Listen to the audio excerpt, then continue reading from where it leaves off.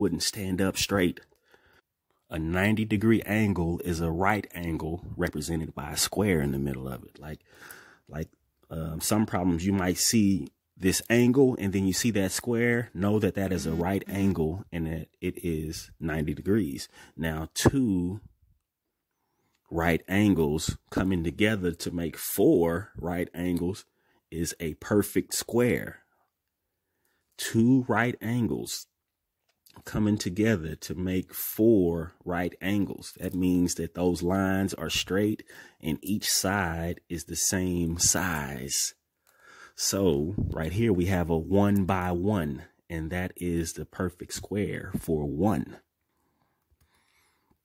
The perfect square for one. So we're, we're taking the length times the width.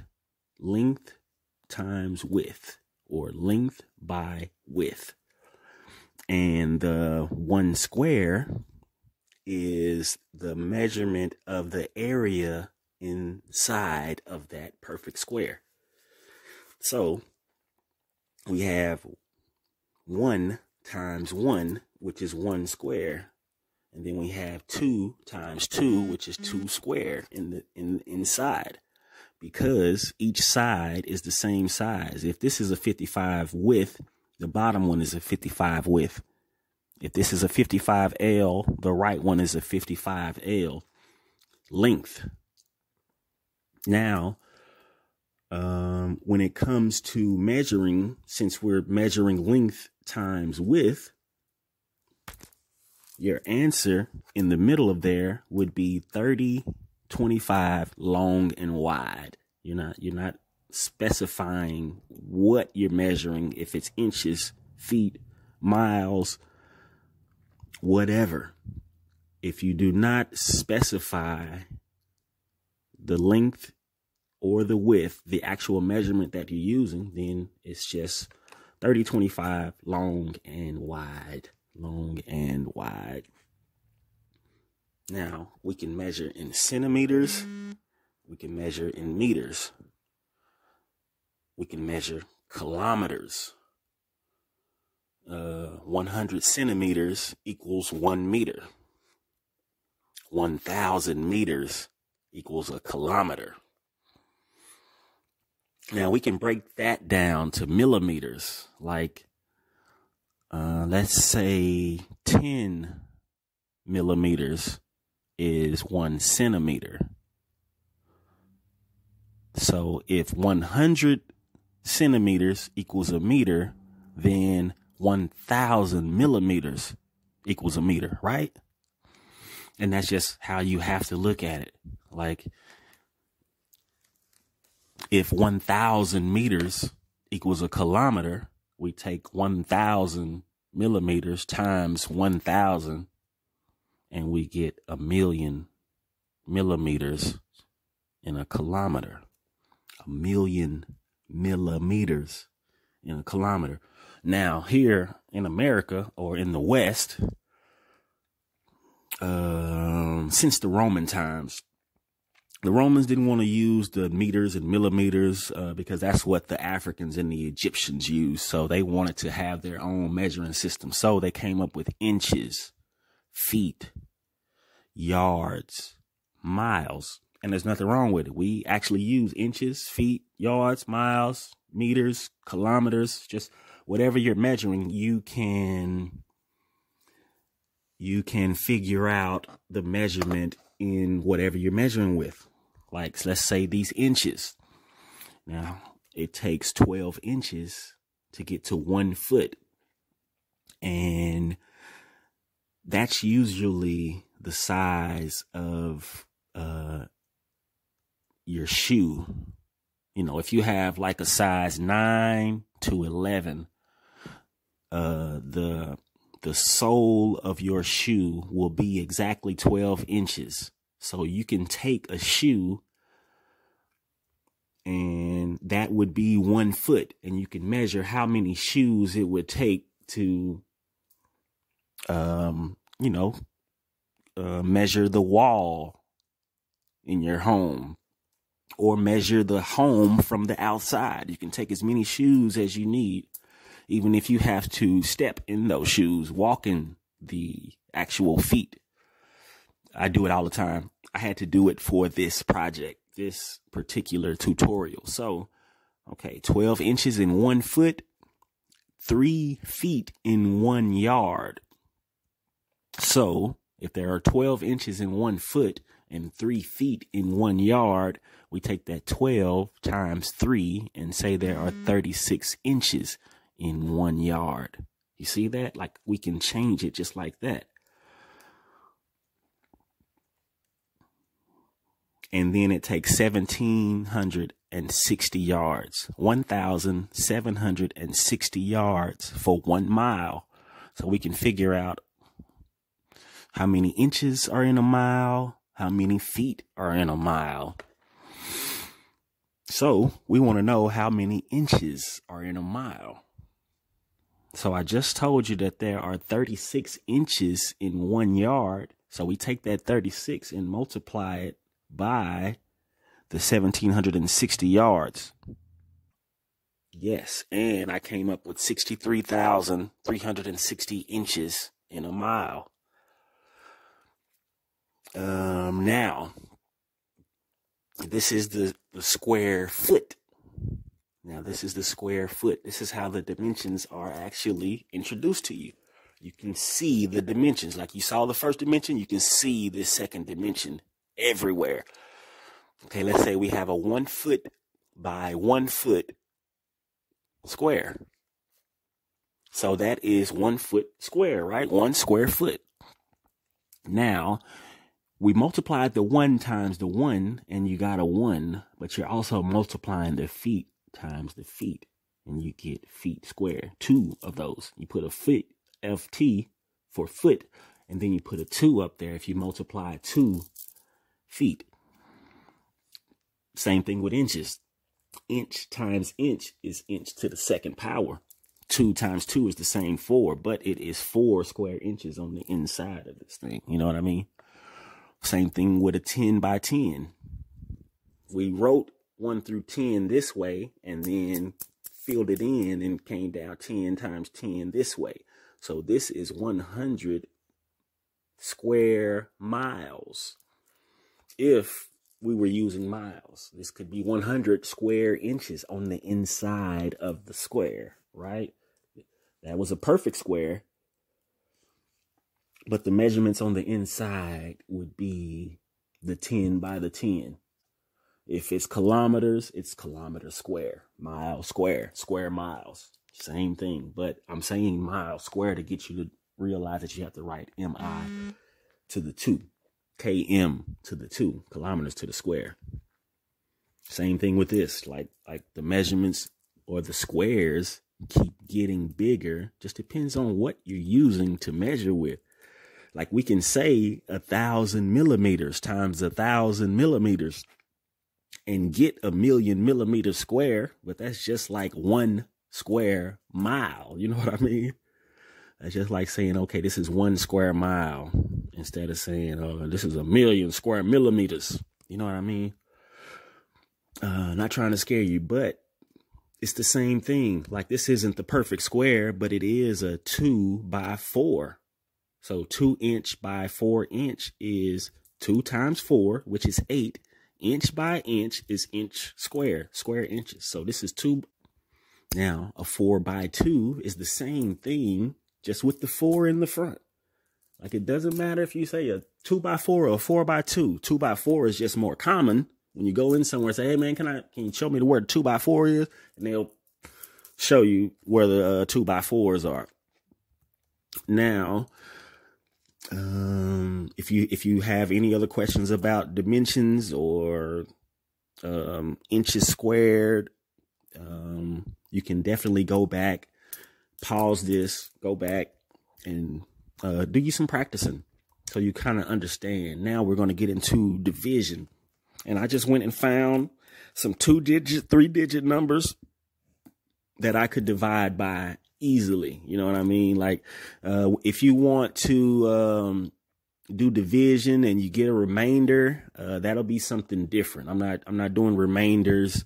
Uh, I'll show you how to divide and get the decimals and things like that. But a remainder, I would probably have to come back and give you a totally different tutorial on it. And I'm not going to get too far into this one because soon I'll be getting into algebra and geometry and I have a separate algebra tutorial up. I have a separate geometry tutorial coming. This is just mm. basic math, arithmetic, basic multiplication and division. This is my tutorial. So I took 64 divided by 4. If you haven't done it already, go ahead and do so. Show me, show your work. You want to show your work. You want to write it down and say, okay, 4 will go into 6 one time. 1 times 4 is 4. 6 minus the 4 give me 24 and 4 will go into the 24 now like once you once you divide you take this 4 and it turns into a 40, which gives us 24 left over. 4 will go into 24 six times, right? So 6 times 4 is 24. 24 minus 24 is a 0. You don't have to write that because that's not a part of the answer. This 16 is your answer. 64 divided by 4 is 16. We do the same thing with the 5. We say, okay, how many times does the 5 go into the 1? I can't put it into the one, but I can put it into the 12. Five will go into 12 two times, giving me five times 10. Five times two equals 10, I should say. Now we take the 12 minus 10, give us a two. We're going to bring down the five, right? Which is the same thing. If I were to say um, five will go into 125, 25 times. But what I will say is you want to actually show your work, show this long division. Now, y'all may have another way to divide, but uh, this is long division. Like I said, there's more than one way to get to the answer. As long as you show your work, it should be fine. Um, same thing. Six divided into 216 is 216 divided by six. So we say, how many times does a six go into two? It doesn't. So my answer is going to go over the tens if the six can go into 21. It can three times. Three times that six was 18. 21 minus 18 gave me a 36. Once I brought down the six, 21 minus 18 was three. I brought down the six and it made 36. Six times six is 36. And 36 times 6 is 216. That's how you know your answer is right. When you can go back and, and multiply it, like the first one, 16 times 4 is 64. 25 times 5 is 125. 36 times 6 is 216. Now, a 1 can be represented in division as a 1 divided by 1. That's still 1. So any number over 1 is that number. 9 can be represented by 9 divided by 1. 99 divided by 1 is still just 99. 999, same thing. Now, this is just when you're multiplying by a fraction. When you're multiplying by a fraction. Uh, let's say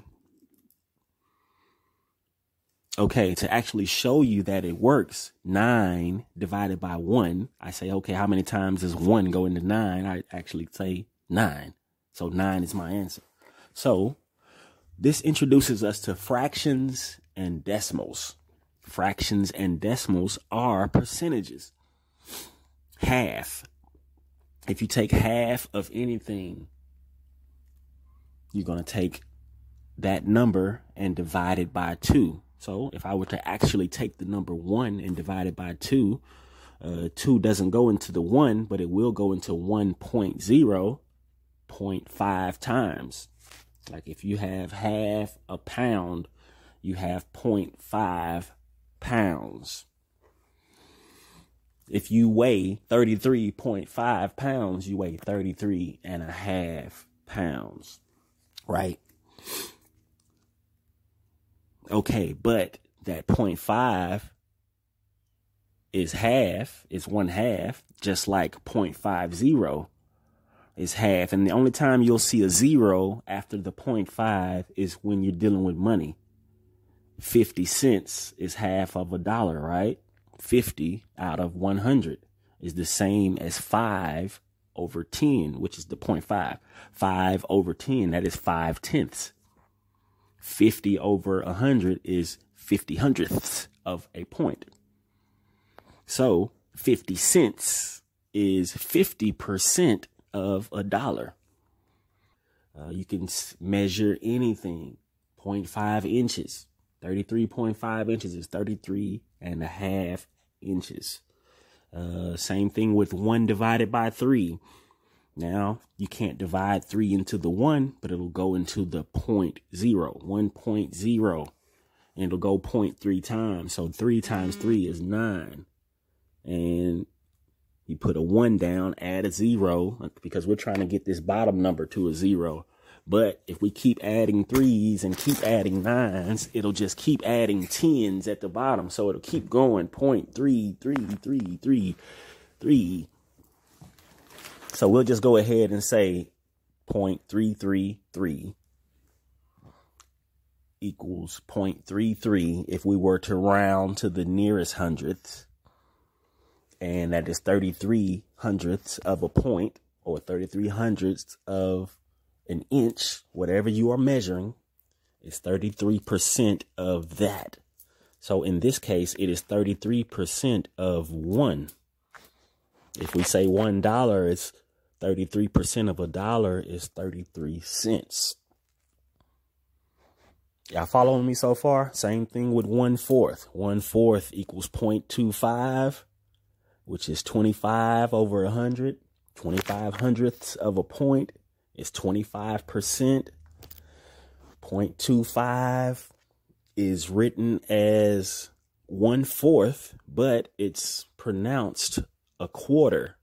A quarter of a dollar is 25 cents. A quarter of an hour is 15 minutes. A quarter of $100 is 25% of $100. So we want $25, right? Because it's 25 out of $100. Now, one fourth can be represented multiple multiple ways. If you take one half times one half, that equals one fourth because you multiply straight across. Like you remember how we took half of the 180 that was half of 360. So we took half of the half and got four 90s. It gave us four 90s. Four 90s was still the whole 360, right? Same thing. Now I can take 0.5.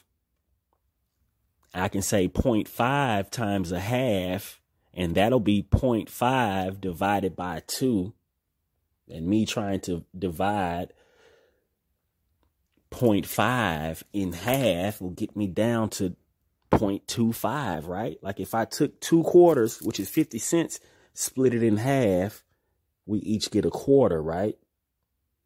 Same thing. A half times a half is like taking half of the half, which will give you one fourth. Okay, one fifth. One fifth of anything will give you 0.2 which is two tenths of a point. It is 20 over 100, which is the same thing. 20 over 100 is the same as 2 over 10, is the same as 1 over 5, is the same as 0.2, is the same as 0.20, it's the same as 20%.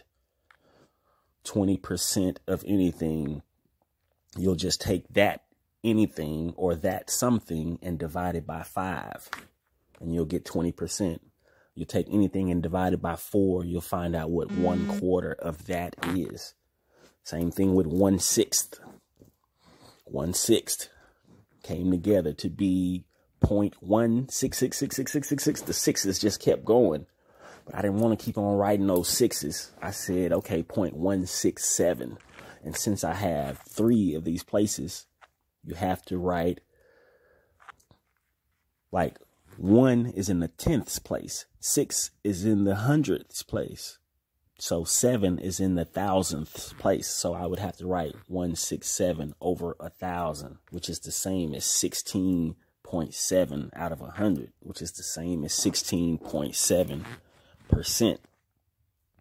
You can actually divide them and get these numbers. Like, don't just believe that a quarter is 25 cents. It's actually 25% of whatever. Just like the hour. Like an hour if an mm-hmm. hour was 100 minutes, then a quarter of an hour would be 25 minutes. But since an hour is 60 minutes and we want a quarter of an hour, we divide the 60 by four or we multiply it by one fourth. It's the same thing. 60 times one fourth equals 60 divided by four which equals 15 minutes. Okay, now we have one tenth. Now one tenth is one over 10. It is 0.1. It is 0.10. It is 10 out of 100, which is 10%. I just wanted to show you exactly why these answers are what they are instead of me just saying, hey, one tenth is 10 over 100, like saying 100 over a 1,000 a thousand over ten thousand is still ten percent of whatever. So, with that said, what is three fifths of one thousand? What's the first thing you would do? Three fifths of one thousand. Now you can put three over five, and when it says of, you'll put times one thousand, or you can put one thousand times three fifths. 1,000 times 3 fifths. If, if you don't understand to go ahead and multiply across and then divide, go ahead and put the 1,000 over 1 so you can see it being multiplied straight across. 1,000 times the 3. 1 times the 5 will be under that. 3,000 over 5 is what you should have. 3,000 over 5 is 3,000 divided by 5 three fifths of 1,000 is 600. One fifth thousand is 200. So each one fifth, 200, 400, 600, 800, 1,000 gives us the whole. Five fifths is the whole thousand. Five fifths is a whole thousand. One fifth is 200. It asks what is three fifths. So I, I divided 3,000 divided into the five and said, okay, three fifths of 1,000 is 600. Okay, give you one more. What is one third of 999? What is one third of 999, right? And it's the same thing. Now you can either just go ahead and take the 999 and divide it by the three, get your answer, or you can write it out and say 999 over 1 times 1 over 3 equals 999 over 3, which is 333. If you got 333 for one third, you'll know that two thirds is 666 and three thirds is 999. Three thirds means one whole. Three thirds is the whole. If I have three over three, three divided by three is one. So the whole of 999 is 999. The whole of 1000 is five fifths if we're talking fifths. Only do what the question is asking. Now, I'm going to introduce you to the third dimension. Are you ready? So, length times width was the second dimension. You can see the first dimension with your line of sight. The second dimension was you drawing lines in the sand, right? Two lines of sight separating this 180 degrees, turning into 90 degrees. Two 90 degree angles ended up being a perfect square. Now, that one times one that was the perfect square can be times one in height now. So we had length times width, and now it's times height which will give you the perfect cube. You can actually see the cube, just like you can see a table. You can see the door. You can see the wall. You can see the room. You can see the house. If you just stand up and look from the outside, you're looking in. You're looking in at a floor that is a one by one. You're looking at a wall that is a one by one. A ceiling is a one by one. So we have one by one by one, and the space in between it is is the answer. That is the product of this one times one times one. So we're in the third dimension. To get to the fourth dimension, it's just one more times one. So we have one to the fourth in the fourth dimension. Right now, we're at the third power, third dimension. Third power is the third dimension. Your third power is your third dimension. One of you to the third power is still one you in the third dimension. Now, what we're measuring is all up to you. On those ones in the twos, now it's a little different, right? So two times two is four, times two was six. So the area inside the box is exponentially bigger because the exponent is a three now. Three to the third. We said three times three was nine, times three was 27. Four times three was, or four to the third power was 64. Five to the third power. Do these numbers look familiar? 125. Weren't we just dividing these just a second ago? So go ahead and go down to the six, seven, eight, nine, 10 to the third is a thousand. We already said that in our practice. 11 times 11 times 11. Well, 11 times 11 was 121 times 11 is 1331 times 11 would be like oh man do i have to okay but i'd rather you write it 12 to the third right? 12 to the third. So you should have 6 to the third power is 216. 6 to the third dimension is 216. Length times width times height. 7 to the third is the perfect cube, which is 343. It could be inches, could be miles, could be kilometers, could be feet. Now, this is just when you're measuring distances. Does it get to the third dimension? You know what I mean? Like, like when you're measuring weight, uh, that's different. That's, that, that, that is different when you're measuring the mass of something. Uh, now, what I will say is, uh, no matter what, all three of, uh, of what you are multiplying, like let's say we are measuring in inches.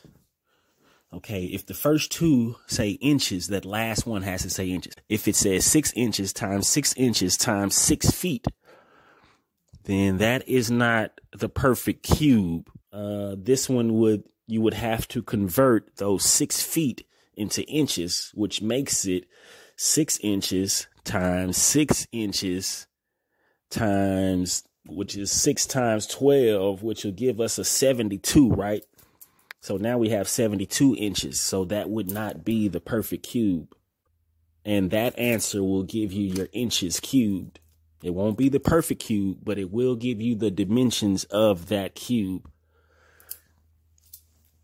It won't be the perfect cube. The perfect cube is the same number multiplied by itself three times. Same thing with the fourth power, the fifth power, sixth power. Same thing with the second power if it's it if it's by itself. Okay, so we're gonna take us a quick quiz. Uh, get ready because these are this is a couple of more word problems. Now we'll be dealing with measurements and and big numbers. So uh, make sure you have your mm-hmm. clean piece of paper Let's go ahead and jump into our quiz. New piece of paper, write this down. The average home in my neighborhood is 25 feet long and 40 feet wide. The average home in her city is 40 feet long and 65 feet wide. What is the square footage of each?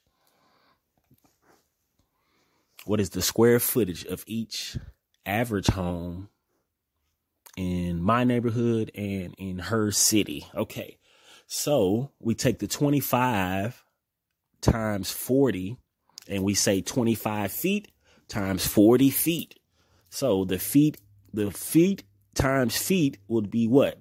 Feet squared. And this 40 times 25 is just like saying four quarters, right? Four quarters times 25 is 100 plus a zero because it's 40. But I'm going to walk you through why this 40 feet times 25 feet is 1,000 feet squared, which is 1,000 square feet. Same thing. 1,000 square feet is 1,000 feet squared. It's the same thing, but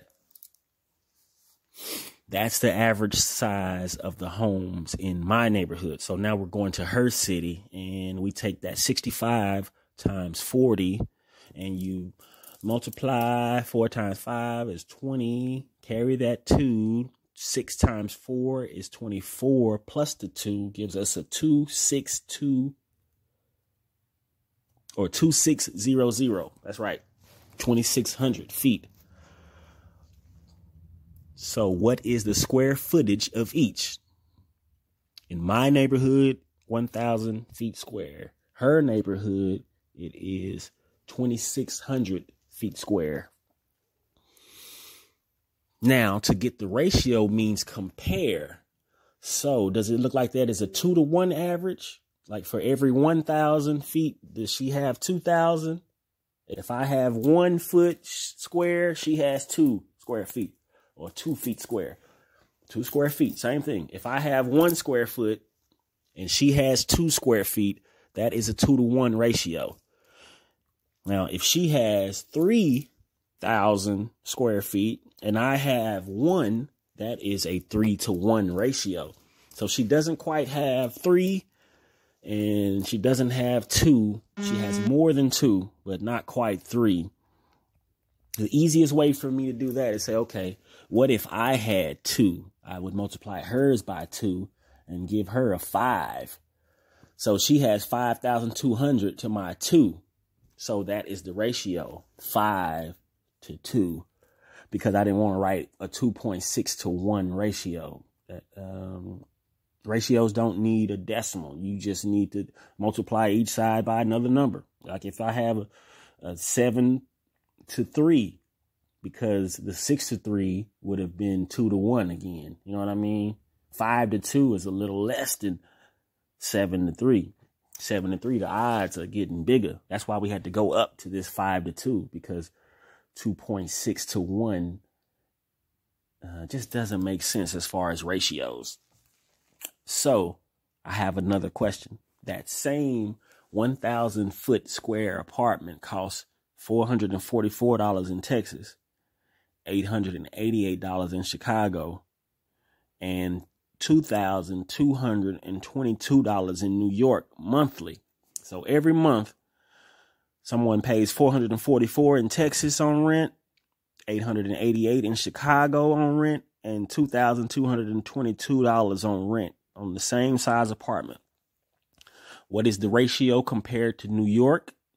And how much to rent for one year, 10 years? Okay, so to take the first one, what is the ratio compared to New York?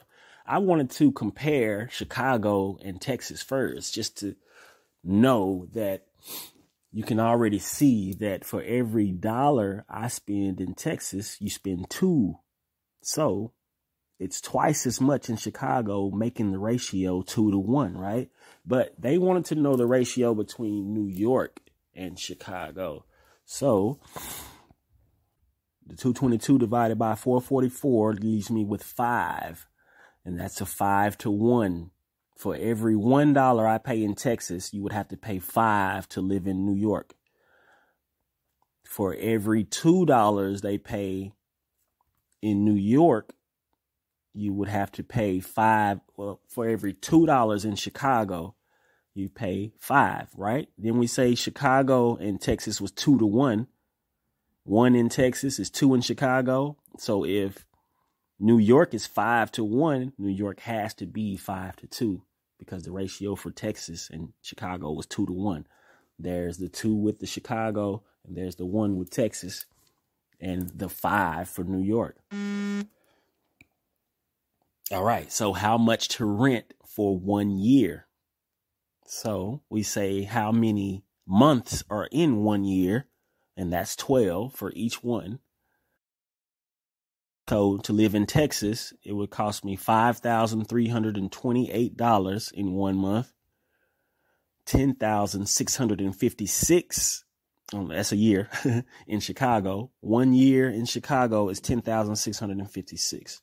One year in New York is 26,664. Take all of those times 10 and you're just adding a zero. 53,000 in 10 years. 106.5 thousand in 10 years in Chicago. 266.6 thousand in New York. What is 0.6 thousand? 600. 0.6 thousand is 600. 0.5 thousand is 500. 0.28 thousand is 280. All right. We have another quiz question. I appreciate y'all for being here. Thank you. This is Mr. Marquis Tutors Me. Uh, we are in the multiplication and division tutorial. Now, this may be the last question. I don't know if LeBron James has 36,264 points in 1,341 games, how many points does he average? If LeBron James has 36,264 points in 1,341 games, how many points does he average? Okay, now to take the average, we divide, right? Take the average, we divide. If they want the total, we'll go ahead and multiply. But if they want the average, that means we have to divide the points by the games and you'll get the points per game, right? So we take all the points, 36,264 divided by 1341 and I'm looking at it and I say, okay, this 1341 can't go into the 3, the 36, the 362, or the 3, but it can go into the 3626. It can go into the first four numbers. Um, how many times? I want to say 3 because it's 3000, but that's going to give us 3900 because we can see that 13 the 3 times 3 is going to be a 9 and we don't want that. So we'll go back to 2 and say 2 times 1341 is 2682. Subtract that and bring the 4 down. We get 9444, right? Okay, now after that, we'll say, okay, how many 1341s will go into this 9444? We found out that 7 would, 9387 leaving us with only 67. Now, if we were to bring a zero down, we get a point zero, and then you have to bring another zero down, get another point. You know what I'm saying? So we'll go ahead and say 27 points per game. If he has averaged 27 points per game, how many games before he passes Wilt Chamberlain for leading scorer all time with 38,388 points? That's if he averages the same 27 points per game. How many games before he passes Wilt Chamberlain for leading scorer all time with 38,388 points? So we'll take the total for Wilt Chamberlain and how much he's trying to get to. Just one past him. He has to pass him by one point. So that'll give him 38,388 or take away 36,264 and that'll leave us with 2,124. Now we take that number and we'll divide it by the 27 points per game and that'll give us the total number of games that he has left, right? So I took the 2 1, 2 4, divided it by his 27. So, yes, 78.666 will come to 78.7 games. And since 0.7 games does not matter, like he can play 0.7 games, which is 70% of the game. But we wanted to know whole game. 78.7 games turns to 79 games. So he basically just needs one season to pass Wilt Chamberlain if he averages the same 27 points because there is an 82 game season every year. And LeBron James only needs 79 games, averaging 27 points to pass Wilt Chamberlain for leading scorer all time in the NBA. Now, that was a great quiz. now we're just going to talk decimals and decimal places. After the ones place is the period or decimal, and then the decimal places start at the tenths place.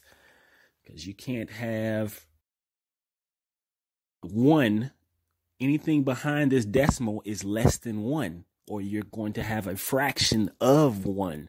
So it has to be tenths, a tenth of a point, a tenth of one, whatever. So the first place is the tenths place. Next place is the hundredths place, thousandth place. And if you go back to the left, the left side goes ones, tens, thousands. And then it starts uh, ones, tens, hundreds, thousands. 10,000, 100,000 right? Million, 10 million, 100 million, billion. It's go, it's the same thing going with the tenths, hundredths, thousandths, ten thousandths, hundred thousandths. Now, how many millimeters are in one mile? You remember that? How many millimeters are in one mile?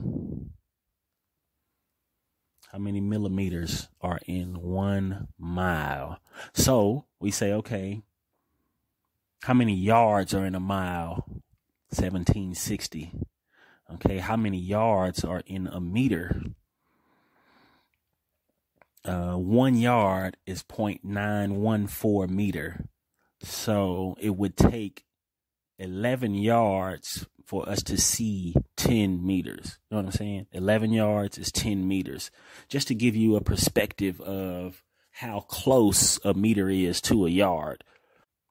So 1760 yards turns into 1609.344 meters. 1609.344 times a thousand made it 1,609,344.